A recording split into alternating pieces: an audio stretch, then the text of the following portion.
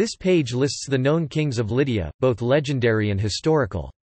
Lydia was an ancient kingdom in western Anatolia during the first millennium BC. It may have originated as a country in the second millennium BC and was possibly called Maeonia at one time, given that Herodotus says the people were called Maeonians before they became known as Lydians. Herodotus and other sources refer to three dynasties, the Maeoniae, Heraclidae Heraclids and Mermnadae. The first two are legendary, though later members of the Heraclid dynasty are at least semi-legendary. The Mermnadae are historical. Maeoniae The earliest Maeonian or Lydian king mentioned by Herodotus is Manes who was the father of Atys. There was a severe famine during the reign of Atys and half of the citizens, led by Atys' son Tyrrhenus, emigrated to Italy as the Tyrrhenians.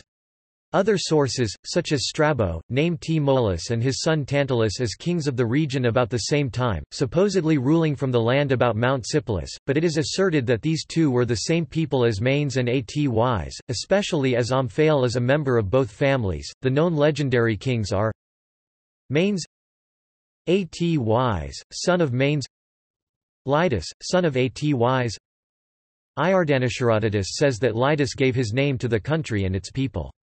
The line of Lydus continued through an unstated number of generations until they, as Herodotus says, turned over the management of affairs to the Heraclids.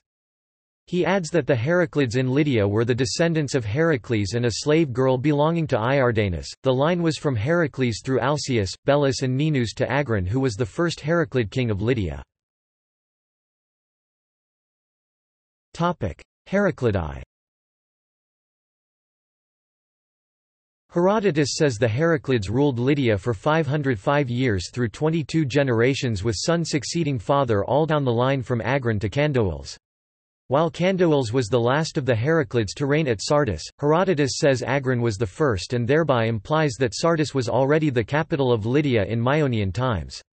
Candaules died c. 687 BC and so the 505-year span stated by Herodotus suggests c. 1192 BC for Agron's accession. The known Heraclid kings are Agron Florida, c. 1192 BC, legendary great-great-grandson of Heracles and a Lydian slave girl via Alcaeus, Belus and Ninus 19 legendary kings, names unknown, all succeeding father to son Meles, aka Myrsus 8th century BC, semi-legendary father of Candaules Candaules, aka Mursilis died c. 687 BC, probably historical, son of Meles, murdered by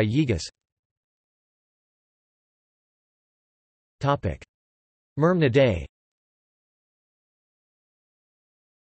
Although this dynasty is historical, the dates for it have never been determined with certainty.